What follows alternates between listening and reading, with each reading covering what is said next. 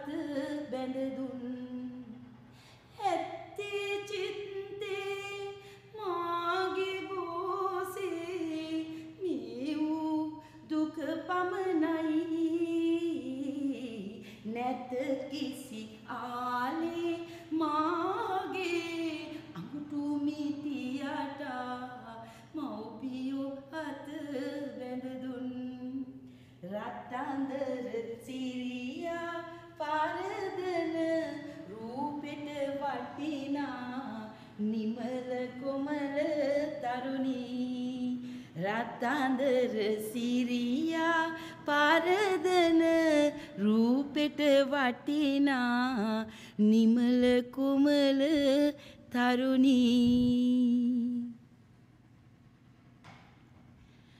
ආදරණීය දුවේ පුතේ මං අද ඔයාලට කියලා දෙන්න යන්නේ සාමාන්‍ය පෙළ විෂය නිර්දේශය සඳහා නිර්දිෂ්ට ග්‍රන්ථයක් වන දික්තල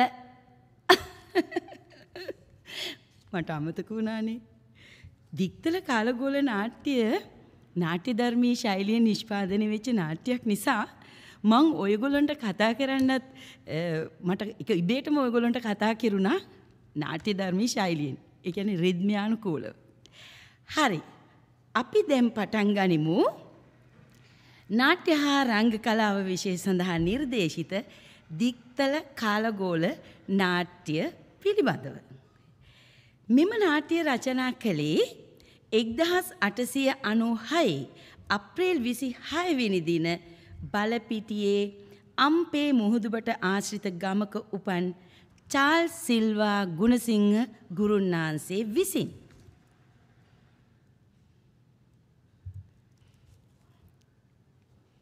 ඔන්න ඔබට දැන් තිරේ දිස් වෙනවා චාල් සිල්වා ගුණසිංහ ගුරුන්නාන්සේගේ ඡායාරූපය. මේව හොඳට ඕගොල්ලෝ අධ්‍යයනය කරන්න ඕනේ. මේ පින්තූරේ දැක්කහම ඕගොල්ලෝ අඳුන ගන්න ඕනේ මේ ඉන්නේ චාල් සිල්වා ගුණසිංහ ගුරුන්නාන්සේ කියලා. ඉතින් එතුමාට හිටියා පුතු හතර දෙනෙකුයි එක දුවෙකුයි.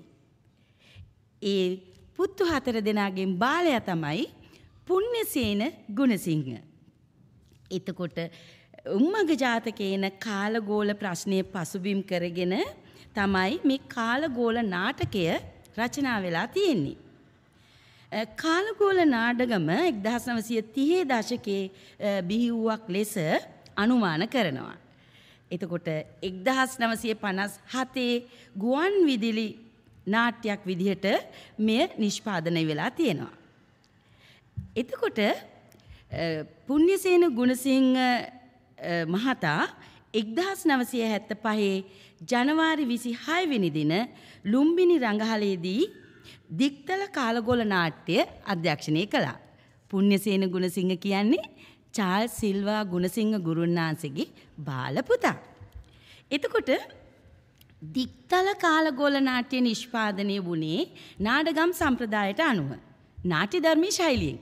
දැන් මං ඉස්සල පටන් ගන්නකොට නාටි ධර්මී ශෛලියෙන් තමයි ඒ ගීතයක් ගායනා කරමින් ඔයගොල්ලොන්ගේ පාඩමට සම්බන්ධ වුණේ. එතකොට අපි චාල් සිල්වා ගුරුන්නාසේ ගැන පොඩ්ඩක් දැනගමු. එතුමා රචනා කළ තිනෝ නාටිකෘති විස්සක් විතර.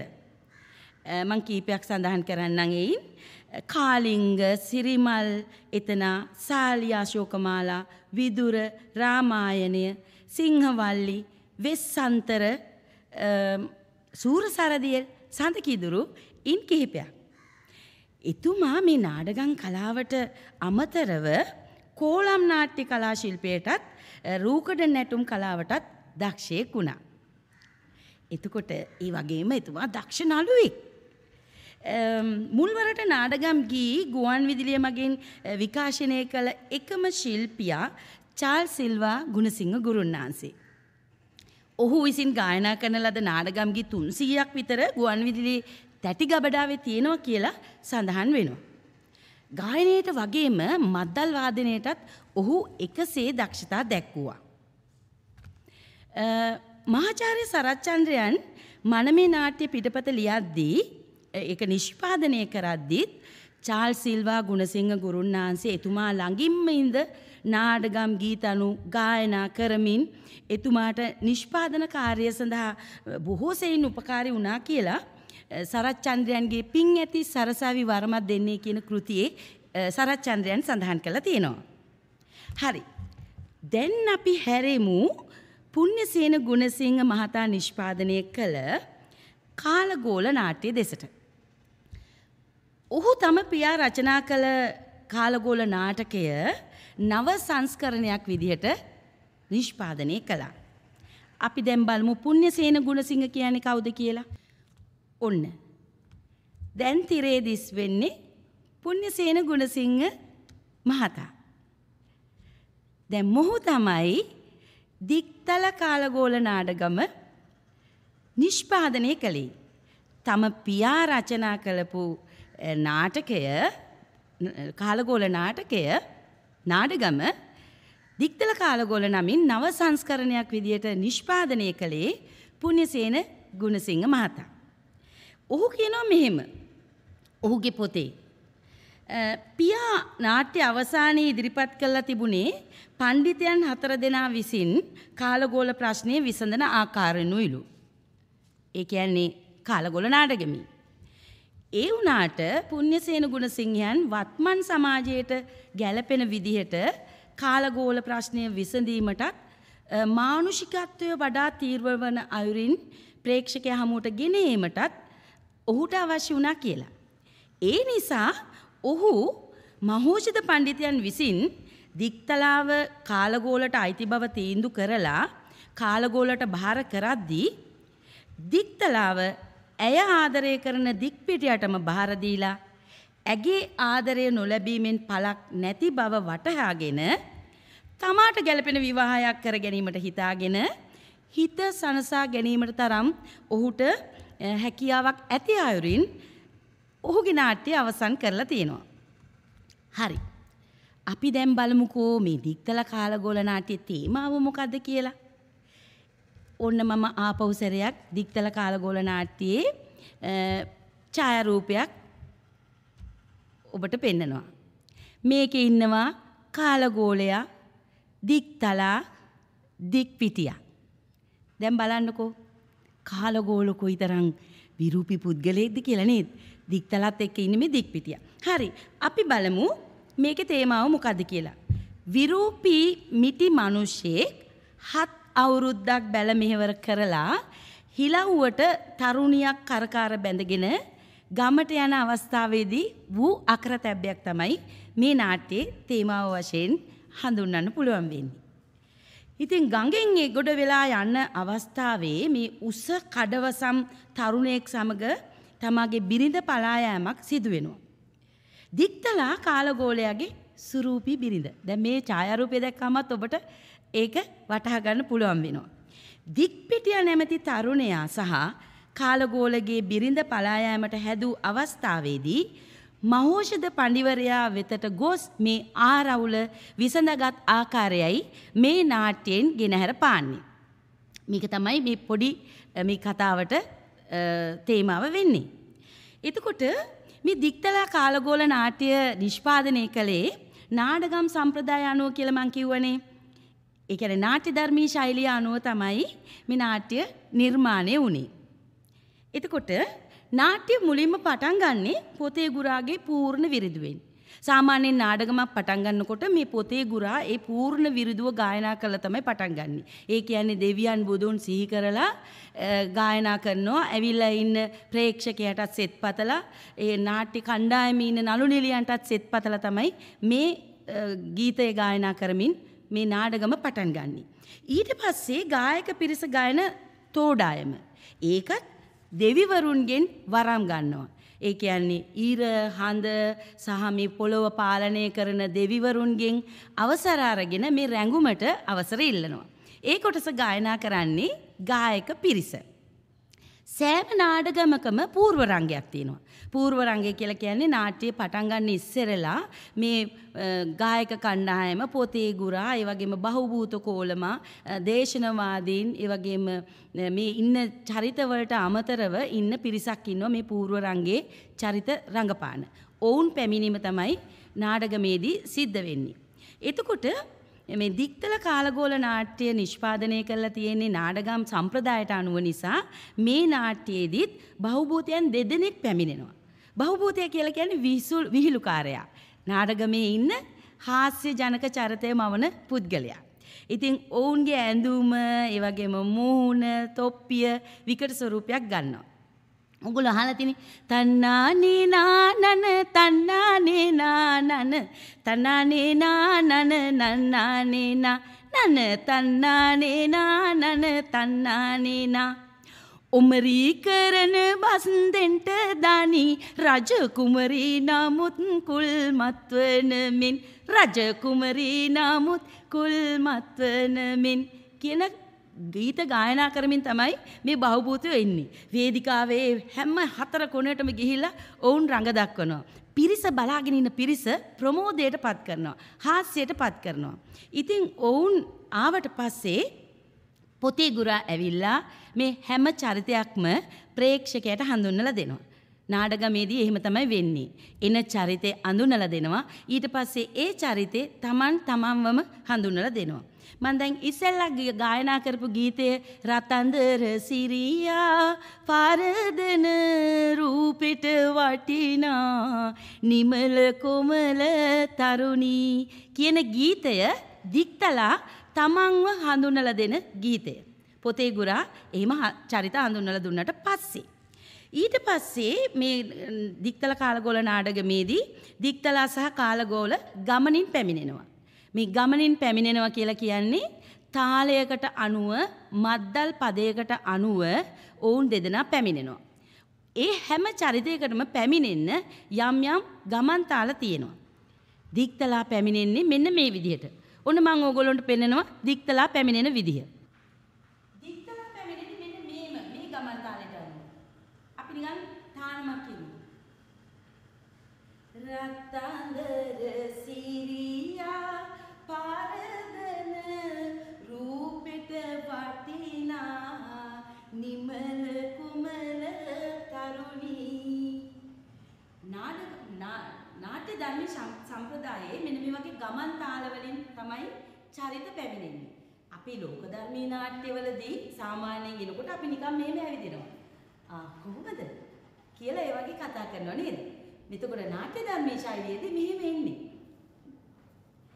රත්තරන්දර සිරියා. එතකොට කාලගෝල එනවා මෙන්න මෙහෙම.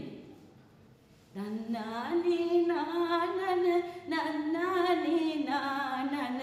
මොකද කාලගෝල කියලා කියන්නේ මිටි, කළු, කුදු මිනිස්සෙක්නේ. කැත කළු කාලගෝල කියන්නේ කළු ගෝලයක් වගේ කියන්නේ. ඔහු එන්නේ මේ විදිහට. ආ මෙහෙම එන්නේ. එතකොට ඒකෙම ඔයගොල්ලන්ට අඳුනගන්න පුළුවන්නේ චරිත පැමිණෙන්නේ ගමන් තාලවලින්. සාමාන්‍ය ලෝක ධර්මී නාට්‍යයක නම් මෙහෙම නිකන් ඇවිල්ලා කතා කරනවා. ඊට පස්සේ කාලගෝලය ඇවිල්ලා මෙහෙම මොකද ඔයාලා හිනෙන්නේ නෑ අප්පා කියනවා පො දොඩම් ගෙඩියක් විතර උස නැති මම වගේ චුට්ටේ. වලඟ දෙකක් හේදුවට ඔයාලා ඔච්චර hina වෙනවනම් අර මහාවීර කුස රජුරෝ අච්චර වලන් හේදුවට කොච්චර හිනෙන්න ඕනද? කියලා ඔන්න ඔය විදිහට තමයි දෙබස් කියන්නේ. මං අර පාඩම පටන් ගද්දී මට අමතක වෙලා අර දෙබසක් කිව්වේ ඕගොල්ලන්ට නිකන් කතා කරන්න ඕන කොට නාට්‍ය ධර්ම විදියට.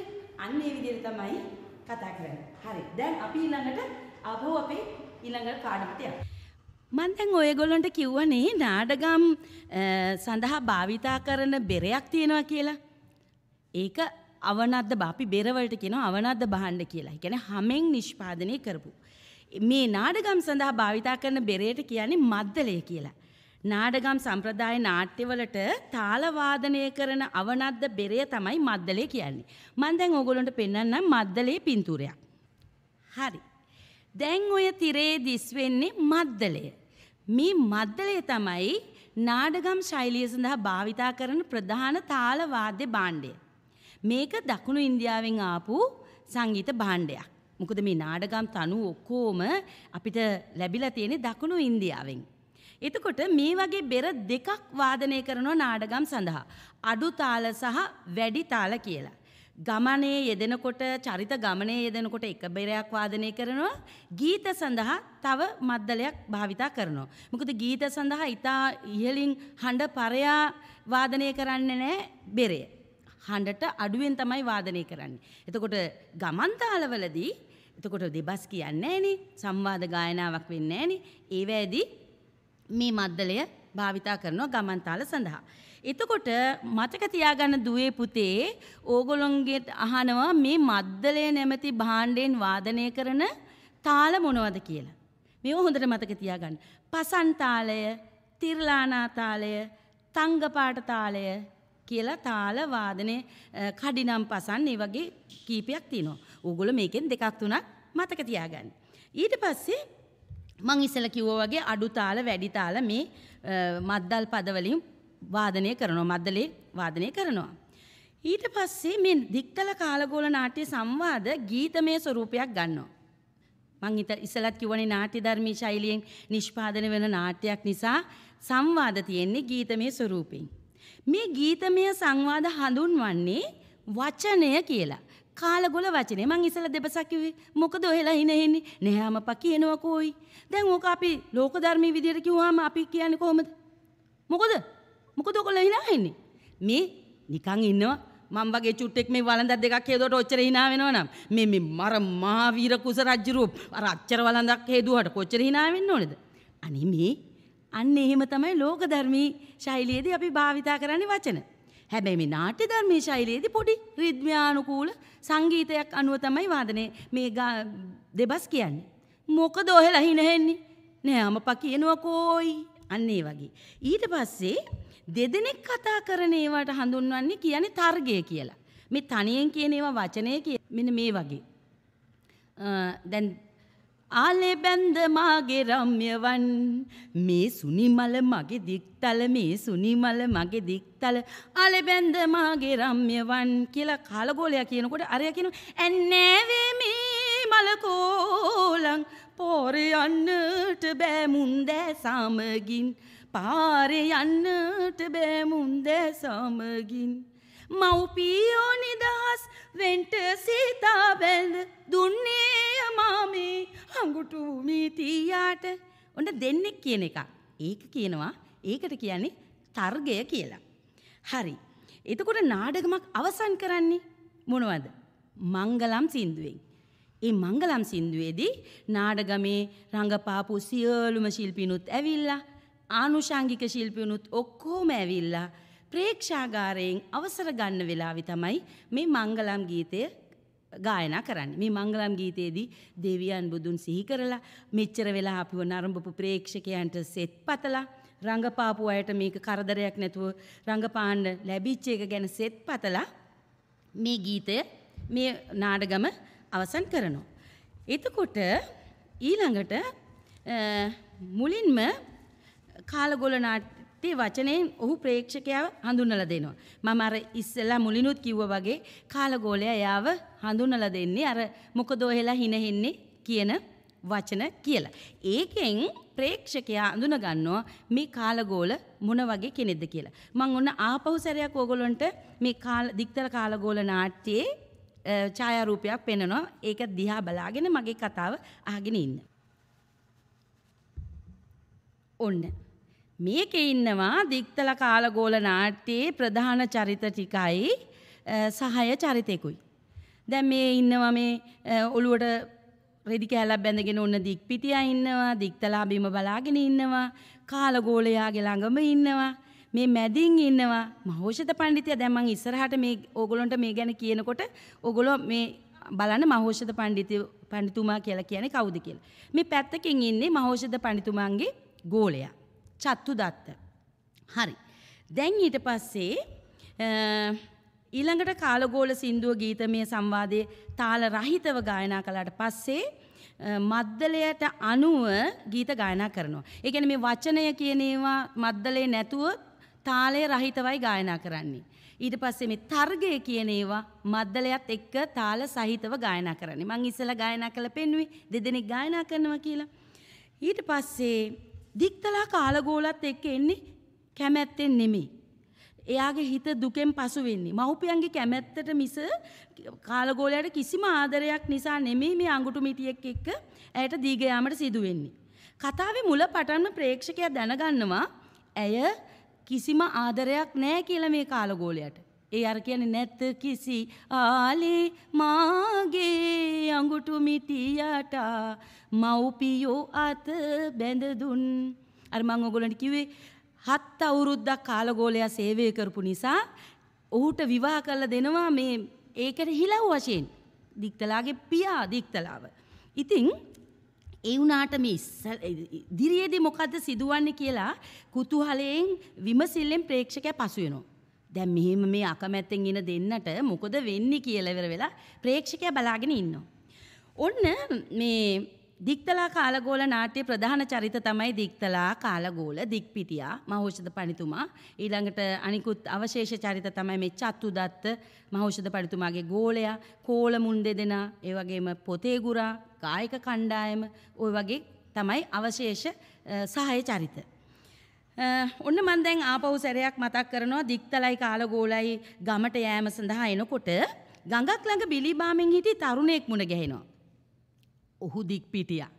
ඔහු ටිකක් කපටි පුද්ගලෙක්. ඒ බව ඔහුගේ වචන වලින්ම පැහැදිලි වෙනවා මෙන්න මෙහෙම. ඔන්න මං කියනවා එක දෙබසක්. මේක එසේ මිස ගඟක් නෙවෙයි. මහා සමුද්‍රයටත් වඩා ගැඹුරුයි. කිමුල්ලුන් මෝරුන් සිරිපිල්ලන් ගොඩ වාගේයි කියලා කියනවා. ඒ කියන්නේ මේ දික්තලයි කාලගෝලයි ගඟෙන් එගොඩ වෙන්න ආවහම දැන් ඒගොල්ලොන්ට එගොඩ වෙන්න විදිහක් නැති නිසා කාලගෝල අර ගඟෙන් එහා පැත්තේ බිලීබාමින් හිටපු තරුණයෙකුට කතා කරලා කියනවා සකියෝ සකියෝ පොඩ්ඩක් මෙහාට එනවකෝ. දැන් මේ ගඟෙන් එගොඩ වෙන්න විදිහක් නැති නිසා මේ ගඟෙන් එගොඩහා ඉන්න තරුණයාට කාලගෝල කතා කරනවා මෙන්න මෙහෙම. සකියෝ සකියෝ හේ හූ කියලා. දැන් ඒ දෙබසුත් ගායනා කරන්නේ රිද්මය අනුකූලව. එතකොට දික්පිටිය කියනවා කෑ නොගා යනෝ යන්න. අනේ සකියෝ පින් සිද්ධ වේ කියනවකෝ මේ ගඟෙන් එගොඩ වෙන ක්‍රමයක් කිව්වහම දික්පිටිය දකිනවා මේ ලස්සන තරුණියක් එක්ක ඇවිල්ලා ඉන්න මේ විරූපී පුද්ගලයෙක්. එයා දැනගන්නවා මෙතන මොකක් හරි සිද්ධ වෙනවා කියලා. ඊට පස්සේ එයා ඇවිල්ලා මේ අහනවා මොකද මේ ප්‍රශ්නේ කියලා. එතකොට කාලගෝල කියනවා අපිට මේ ගඟෙන් එගොඩ වෙන්න ක්‍රමයක් කියන්නකෝ කියලා.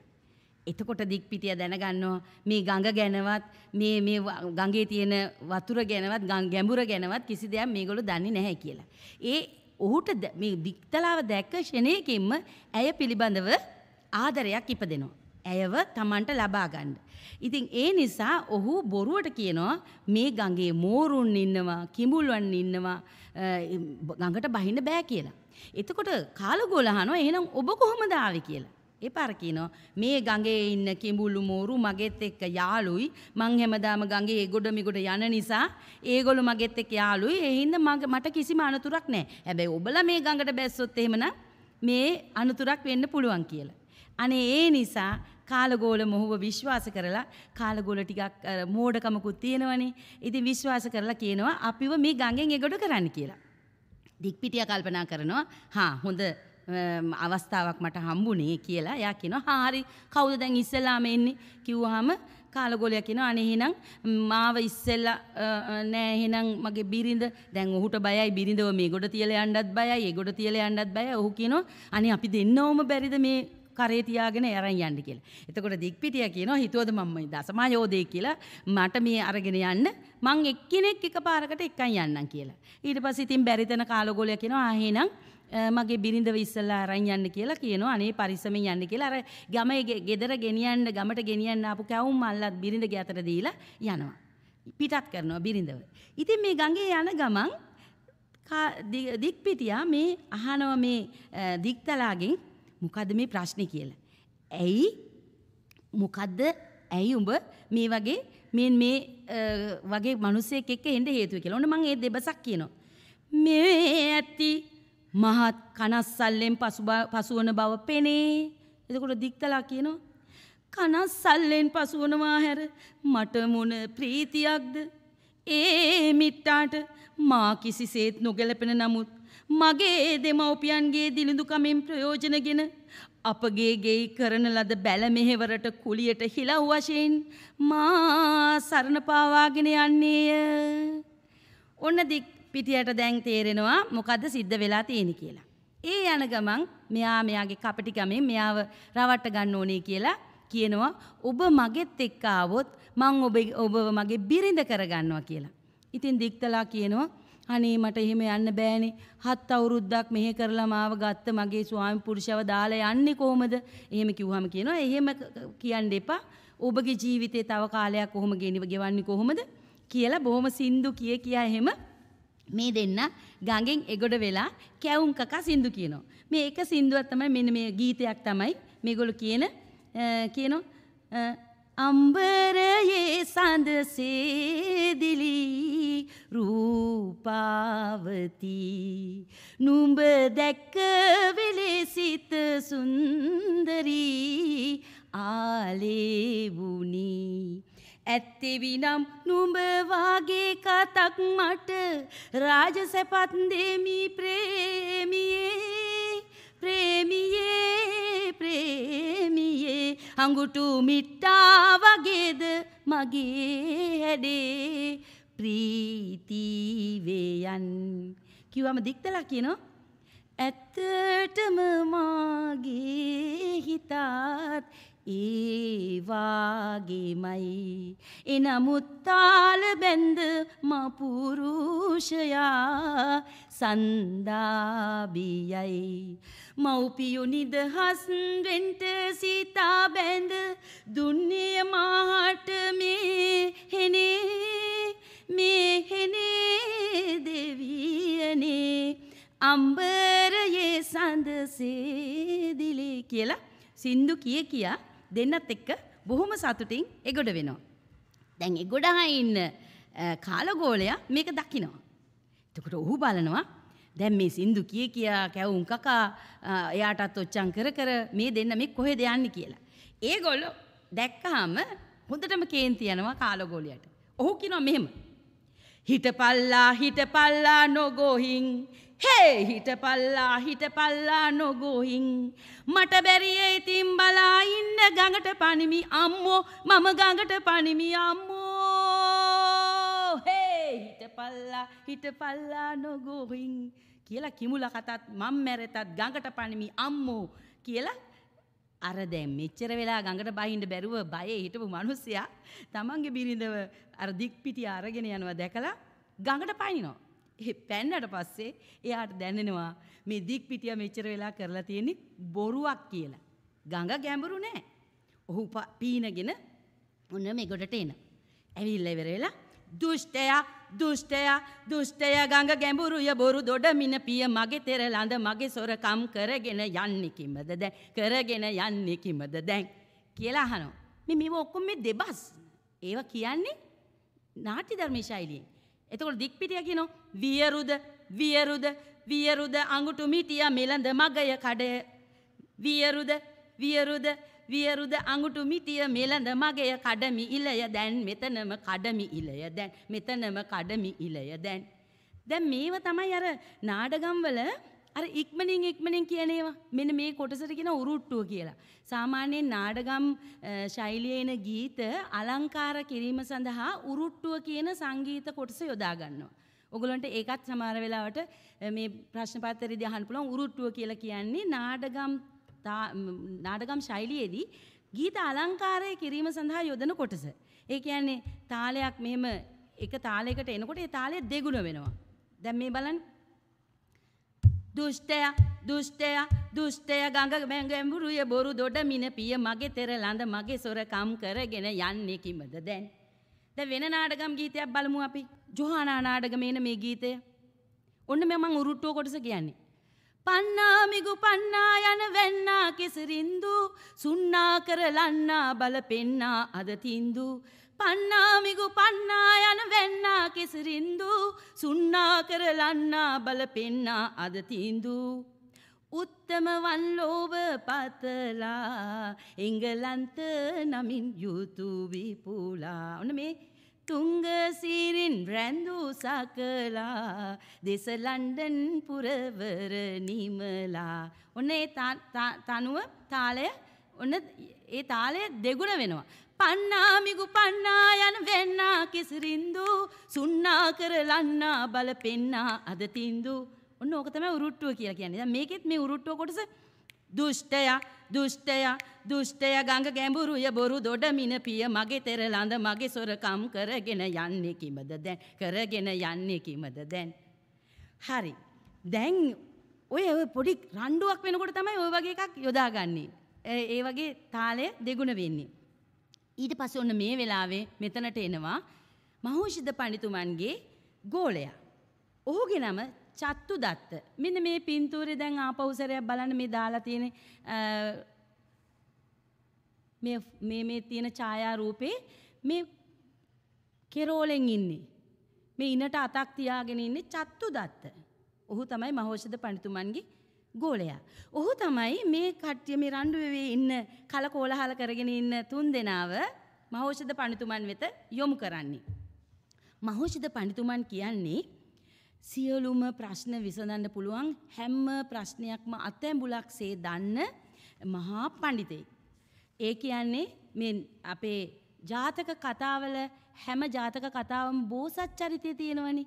ඒ බෝසත් චරිතය තමයි මේ දික්තල කාලගෝල නාඩගමේ දික්තල කාලගෝල ජාතක කතාවේ බෝසත් චරිත තමයි මහෝෂධ පණිතුමා. මහෝෂධ පණිතුමා ළඟට මේ මොවුන් තුන් දෙනාව අරගෙන එනවා. ඇවිල්ලා කියනවා මෙන්න මෙහෙම. දැන් ටික වෙලාවකට පෙර ඇසුණු ගාල ගෝට්ටිය බලන්නට ගිය විට අරගල කරමින් සිටි මේ තිදෙනා දුටිමි. මෑ මොහුගේ අඹුවලු මොහු ඈසොරා ගත්තේලු මොහු මෑගේ සැමියලු මොහු මෑ පැහැර ගන්නට තැක් කළේලු ඒ කියන්නේ දික්තලා කියනවා තමන්ගේ සැමියා දික්පිටියා කියලා කාලගෝල කියනෝ තමන්ගේ බිරිඳ කාලගෝල කියලා දික් පිටිය කියනෝ තමන්ගේ බිරිඳ දික්තලා කියලා දැන් එක බිරිඳට ස්වාමි පුරුෂෝ දෙන්නෙක් රණ්ඩු වෙනවා. දැන් කවුද කොහොමද තෝරගන්නේ? ඔන්න මහෞෂධ පඬිතුමා තමයි මේ ප්‍රශ්නේ විසඳන්නේ. එතුමා මේ ප්‍රශ්නේ විසඳන්න අමුතු ක්‍රමයක් ඒ කියන්නේ හොයාගෙන තියෙනවා. ඒ කියන්නේ ඒ වෙලාවේ කල්පනා කරලා කියනවා ඔන්න ගෝලේනි මම මේ ප්‍රශ්නේ විසඳන හැටි බලන්න කියලා. කොහොමද මේ ප්‍රශ්නේ විසඳන්නේ? මේ තුන් දෙනාව තැන් තුනක තියෙනවා. ඔයා ඉන්න ඔහොම කියලා කියන තුන් දෙනාටම කතා කරන්න දෙන්නේ නැහැ. ඒ තුන් දෙනා තැන් තුනක තියලා ඉස්සෙල්ලාම කාලගෝලයව කැඳවනවා. කැඳවලා කියනවා මොකද මේ ප්‍රශ්නේ ඇයි මොකක්ද අහන්නේ? දැන් මම මේ කතා කරන භාෂාවෙන් කිව්වට මෙහිමයි මේ මහෞෂධ පඬිතුමා අහන්නේ. මේ විදිහට. දැන් මෙහි ඇති සැබෑ තතු කියව කියලා පඬිතුමා කිව්වහම කාලකොල කියනවා සත් අවුරුද්දක් මෙහෙ කරගත්තුමාගේ මේ මේ කවියෙන් නෙමෙයි කියන්නේ ගීතෙන් කියන්නේ. ආ සත් අවුරුද්දක් මෙහෙ කරගත්තුමාගේ අමුසිඟිත්ත සමග ආවේ ගමට යන්න මං මගේ හාමුදුරුවෝ සමග ආවේ ගමට යන්න මං. සත් අවුරුද්දක් මෙහෙ කරගත්තුමාගේ අමුසිඟිත්ත සමග ආවේ ගමට යන්න මං මගේ හාමුදුරුවෝ සමගාවේ ගමට යන්න මං මේ හොරදිගාටුවා ගඟ ගැඹුරුයි කියලා මේ හොරදිගාටුවා ගඟ ගැඹුරුයි කියලා මහගජ බින්න දොඩාලා මගේ අමුත් රැගෙන පලා යන්න ගියේ මේ හොරා මගේ හාමුදුරුවෝ කියලා කියනවා. එතකොට මහෞෂධ පඬිතුමා කියනවා හා දැන් එහෙනම් හොයන්න බෑනේ කාගෙද කාගෙද කියලා ඒ පාර තුන් දෙනාව වෙන් කරලා ඉවරලා අහනවා කාලගෝලව ගෙනලා ඔබේ නම කුමක්ද කියලා. මේ තැනැත්තා පමණක් සිටියදී අනෙක් දෙදෙනා වෙන් වෙන් තබනු යාපති ස්වාමීනි කියලා චතුදත්ත කියනවා. ගෝලයිනි විසඳීමට ඇති මේ පැනේ සාවදාව අසනුව එසේය ස්වාමීනි නුඹේ නම කුමක්ද කියලා කාලගෝලයෙන් අහනවා. ආයි කාලගෝලේ අර එයාගේ කන්න ලව්ව කරන්න හදනකොට මා අසන දෙයට පමණක් පිළිතුරු දෙනු යහපති ස්වාමීණි නුඹේ නම කියනු.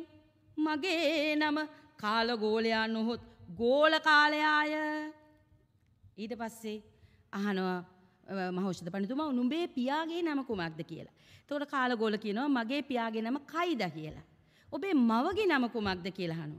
මගේ මවගේ නම චමරී කියලා කියනවා. ඔබේ බිරිඳගේ නම කුමක්ද කියලා කියනවා. අහනවා. එතකොට කියනවා දික්තලාදී කියලා. හරි. එහෙනම් දැන් පැත්තකින් ඉන්න කියලා දික්පිටියට එන්න කියනවා. දික්පිටියගෙන් අහනවා. ඔබේ නම කුමක්ද? මගේ නම දික්පිටිය. ඔබේ මවගේ නම කුමක්ද? චූල දත්ති කියලා කියනවා. එතකොට ඔබේ පියාගේ නම කුමක්ද? දත්ත චූල කියලා කියනවා. එතකොට ඔබේ බිරිඳගේ නම කුමක්ද කියලා අහනවා. එතකොට ඉතින් දික්පිටියා මේ එක එක දේවල් ගඟේ කතා කර කර ගියාට බිරිඳගේ නම අහගත්තේ නෑනේ. එයා දැන් කල්පනා කරනවා මොකද්ද කියන්නේ කියලා.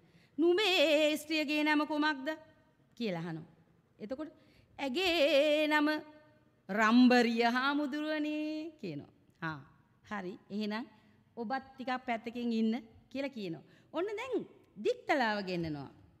දික්තලාව ගෙන්නලා අහනවා නුඹේ නම කුමක්ද? මට කියන්නේ දික්තලාදී කියයි. ආ ඔන්න දැන් හරි. දික්තලා කිව්වා දික්තලාගේ නම. නුඹේ පියාගේ නම කුමක්ද? කියලා හැම දික්තලා කිව්වා මගේ පියාගේ නම හේතුපාණී හාමුදුරනේ කියලා කිව්වා. අම්මගේ නම කුමක්ද කියලා කිව්වම දික් සුරඹී කියලා කිව්වා. ඊට පස්සේ අහනවා නුඹේ සැමියාගේ නම කුමක්ද? උන්න දැන් දික්තලාට ඒ වෙලාවේදී තමයි දැන් කරගන්න දෙයක් නැති වෙන්නේ. සැමියාගේ නම අහගත්තේ නෑනේ. මගේ සැමියාගේ නම නම නම සාන්තපාලය කියනවා. දැන් ඉතින් මොන හේ වෙලාවෙ හිතන නමක් කියනවා. එතකොට අම්මගෙන එතකොට පියාගේ ඔබේ ස්වාමියාගේ පියාගේ නම කුමක්ද කියලා අහනවා. ඔහුගේ පියාගේ නම සමිදාය ඔහුගේ මවගේ නම කුමක්ද අහනවා. ඒ කියන්නේ දැන් දැන් ඔබගේ ස්වාමියාගේ මවගේ නම කුමක්ද? ඇගේ මවගේ නම උමරි උමරි උමරිය කියලා කියනවා. ඔන්න ඒ පාර මහෞෂධ පණිතුමා කියනවා පසකට වී නිහඬව හිඳුණු මගේ ගෝලීනි දැන් ඔබට මේ සත්‍ය අසත්‍ය පැහැදිලි නේද කියලා. ඊට පස්සේ හැමෝම දැනගන්නවා දික්තලාගේ නියම සැමියා කාලගෝලයා කියලා. එතකොට මහෞෂධ පණිතුමා එහෙම තමයි ප්‍රශ්නය විසඳන්නේ.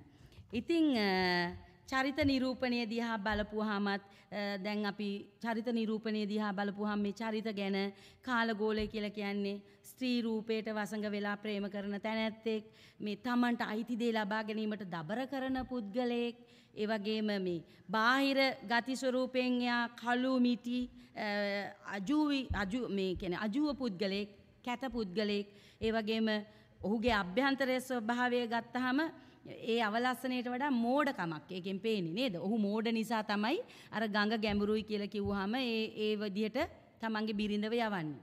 ඉතින් මේ චරිත නිරූපණයේදී කාලගෝලයව ඒ විදිහට තමයි අපිට හඳුන්වන්න පුළුවන් වෙන්නේ.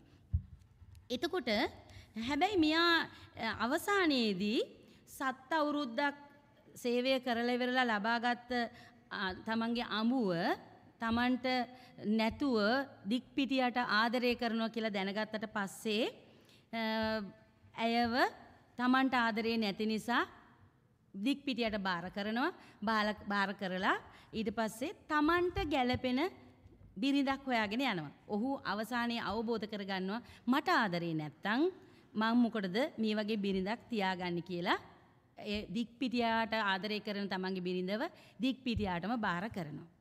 එතකොට නාටයේ අවසානයේදී කාලගෝල ගැන ප්‍රේක්ෂකයන්ට අනුකම්පාවක් ඇති වෙනවා. ඇයි දැන් මේ වගේ මේ මෙච්චර ආදරය කරන මිනිස්සයා අවසානයේදී බිරිඳව දික්පිටියට බාර කරනවා කොච්චර දබර කරත්. ඒ ඒ අනුකම්පාවක් ඇති වෙන අයුරින් තමයි පුණ්‍යසේන ගුණසිංහයන් තමන්ගේ නාට්‍යයේදී දික්තල කාලගෝල නාට්‍යයේදී මේ මේ නිෂ්පාදනය කළේ.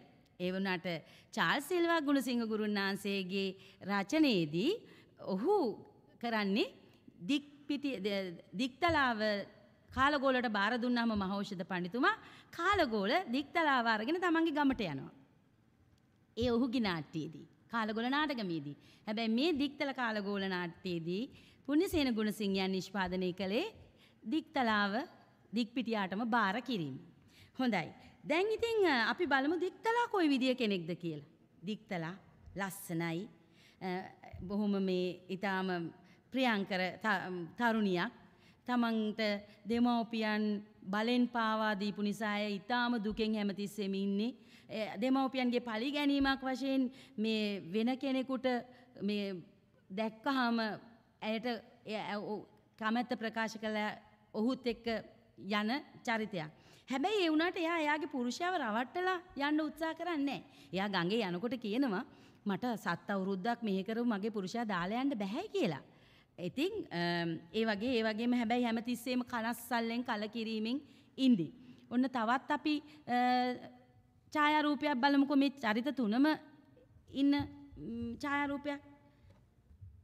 ඔව්.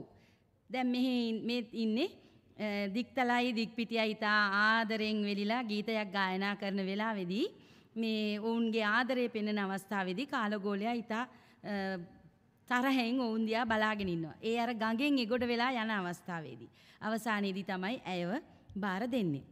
එතකොට ඇය ඉතා ඉක්මනින් මේ දික්පිටියාට රැවටෙනවා. මොකද ඔහු කියනවා ඔහුගේ තියෙන සියලුම ඉඩ කඩම් මේ කාලගෝලයට දීලා මං ඔබව විවාහ කරගන්න කැමතියි කියලා. ඉතින් අපේ ඔන්න වර්තමානයේ ඉන්න දූ දරුවන්ටත් හොඳ පාඩමක් මේකෙන් කියනවා මේ නාට්‍යයෙන් දැක්ක ක්ෂණයකින් කෙනෙක් ගැන විශ්වාස කරලා ඔවුත් ඔහුන් ඔවුන්ව තමන් එක්ක තමන්ගේ ජීවිත කාලයම ගත කරන්න යන එක නුවනට හුරු නෑ කියලා. මේ දික්පිටිය කියන්නේ කවුද ඔහුගේ අම්ම තාත්තා කවුද ඔහු විවාහක කෙනෙක්ද ඒ කිසි දෙයක් නොසොයා දික්තලා දික්පිටියට කැමැත්ත ප්‍රකාශ කරනවා. ඉතින් ඒ නිසා දික්තලා කියලා කියන්නේ වැඩිය දිගදුර හිතන් නැතුව තීරණ ගන්න කාන්තාවක් විදිහට. තුර දික්පිටිය කොයි විදියෙක් කෙනෙක්ද. ඔහු කපටියෙක්. දික්තලාව දුට්ටු මොහොතේ පටන්ම ඇව ලබා ගැනීම සඳහා ඇයට වංචාබස් කියමින් රවටලා තමන් සතු කර ගන්න උත්සාහ කරනවා. ඒ හින්ද තමයි කියන්නේ සුන්දරිය ඒ ගැන කනස්සල්ලට පත් නොවන්න ඒ මිත්තා සත්වසක් වලං හේදුවාට අමුණුසයක ගොඩ ඉඩම්ද හතර පෑලක මඩ ඉඩම්ද ඔහුට පවරා දෙන්නෙමි සුන්දරිය මගේ බිරිඳ වන්න කියලා කියනවා. ඉතින් අපේ දුවරුන්ටත් හොඳ පාඩමක් මේ වගේ ඉන් රැවටිලි බස් කියන පුද්ගලයන්ගෙන් පරිස්සම් වෙන්න. එතකොට එහෙනම් අපි දැන් මේ කතාවත් දැනගත්තා. ඒකේ තියෙන චරිතත් අඳුනගත්තා. ඒකේ තියෙන තේමාව අඳුනගත්තා. ඊට පස්සේ මම දැන් මුල ඉඳන් පොඩ්ඩක් මතක් කරන්නම්. මේ දික්තල කාලගෝල නාට්‍ය පිළිබඳව විශේෂිත කරුණු. මෙහි රචකයා චාල් සිල්වා ගුණසිංහ ගුරුන්නාන්සේ. ඔහු විසින් රචිත කෘති කාලිංග සිරිමල් එතනා හරිස්චන්ද්‍ර සාලි අශෝකමාලා විදුර ඇතුළු කිහිපයක්. දික්තල කාලගොල නාට්‍ය අධ්‍යක්ෂණය කරමින් එහි සංගීතය අධ්‍යක්ෂණය කළේ පුුණ්‍යසේන ගුණසිංහ. ඔහු කළ වෙනත් නිර්මාණ කිහිපයක් මතක් කළොත් මීදුම ගන්තෙර හොල්මන යන නාට්‍යවල සංගීතය සැපයුවා මිනිසලඹ වෙස්සන්තර කැකිල්ලේ බන්ධන යන නාට්‍ය අධ්‍යක්ෂණය කළා. දික්තල කාලගොල නාට්‍ය ශෛලිය නාට්‍ය ධර්මී නාට්‍ය ධර්මී ශෛලිය. උදාහරණ තමයි පොතේ ගුරු සහ ගායක කණ්ඩායම පැමිණීම ගමන්තාලෝ යොදාගෙන රංගභූමියට පිවිසීම පිටවීම ඒ කියන්නේ අවකාශය වෙනස් කිරීම සඳහා පරික්‍රමණ විධි භාවිතා කිරීම. පරික්‍රමණ විධි කියලා කියන්නේ එක තැනක ඉඳලා තවත් තැනකට යන්න ඕන වුණාම රවුමක් ගිහිලා නැවත එතනට පැමිණීම. ගමන්තාල වලින් පැමිණෙන එක. පසුතල භාවිතා නොකිරීම හා ඒවා වාචික අභිනය මගින් මැවීම. උදාහරණ ගඟ තොටුපල විනිශ්චය ශාලාව ඒ වගේ තැන්. එතකොට දික්තල කාලගොල නාට්‍ය සම්ප්‍රදාය නිෂ්පාදනය වෙලා තියෙන නාඩගම් සම්ප්‍රදායට අනුව. ඒ කියන්නේ ඒකේ තියෙන විශේෂ ලක්ෂණ තමයි පොතේ ගුරු සහ අත්වැල් ගායක කණ්ඩායම සිටීම බහුභූත කෝලම චරිතය යොදා ගැනීම පූර්ව රංගයේදී පොතේ ගුරු පූර්ණ විරිදුව ගායනය තෝඩායම ගායනය නාට්‍ය කතාවස්තුව චරිත අවස්ථා ප්‍රේක්ෂකයට හෙළිදරව් කිරීම වචනය සින්දුව නාට්‍ය ධර්මී සංවාද මගින් නාට්‍ය විකාශනය වීම මංගලම් සින්දුව අවසානයේ ගායනා කිරීම මද්දලේ නැමැති අවනද්ද බෙරය යොදා ගැනීම. ඊට පස්සේ ඊට අමතරව දාගත් සංගීත භාණ්ඩ තමයි සර්පිනාව වයලීනිය බටනලාව වැනි සංගීත භාණ්ඩ. ඊට පස්සේ චරිත ලක්ෂණ කිව්වොත් දික්තලා සුරූපී කාන්තාවක් කාලගෝල විරූපී පුද්ගලයෙක් දික්පිටියක් කපටි අවස්ථාවෙන් ප්‍රයෝජනගත් කෙනෙක්. එතකොට කතන්දරයෙන් නාට්‍ය වෙනස් වෙන්නේ ජාතක කතාවේදී කාලගෝලට අවසානයේදී දික්තලාව හිමි වෙනවා. ඒත් දික්තලා කාලගෝල නාට්‍යයේදී දික්තලාව කාලගෝලයට හිමි වුණත් ඇය තමාට ආදරය නොකරන බව දැනගත් කාලගෝලයා දික්පිටියාටම ඇය වාරදී තමාට සුදුසු වෙනත් කාන්තාවක් සෙවීමට යනවා. තොට මෙහි එන ගීත කීපයක් තමයි ආලෙ බැඳමාගේ රම්යවන් ඇන්නෑවේ මේ මල කෝලම් රතන්දර සිරියා අපි ගමට යමු මගේ කොමලලියා හිටපල්ලා හිටපල්ලා නොගහින් අම්බරයේ සඳසේ ගිලි කියන ගීත. එතකොට මෙම නාට්‍ය මුල්වරට රචනා කළේ එක්දහස් නවසය හැත්ත පහේ ජනවාරි විසිහය කොළඹ හැවලොක් ටවුමි ලුම්බිනි රඟහලේදී. එතකොට මේ නාට්‍යයේ තේමාව නොගැලපෙන විවාහයක් කර ගැනීම නිසා කාලගෝලට දික්තලාගේ ආදරය නොලැබී යාම ගැන සිතා සිත සනසගෙන තමාට ගැලපෙන විවාහයක් බිරිඳක් සොයාගෙන යන කාලගෝලයාගේ කතාව. එතකොට මෙම නාට්‍ය සඳහා මූලාශ්‍ර කොටගත් කතාපුවත ඇතුළත් වන ග්‍රන්ථය පන්සිය පනස් ජාතක කතාපොතේ උම්මග ජාතකයේ කාලගෝල ප්‍රශ්නය.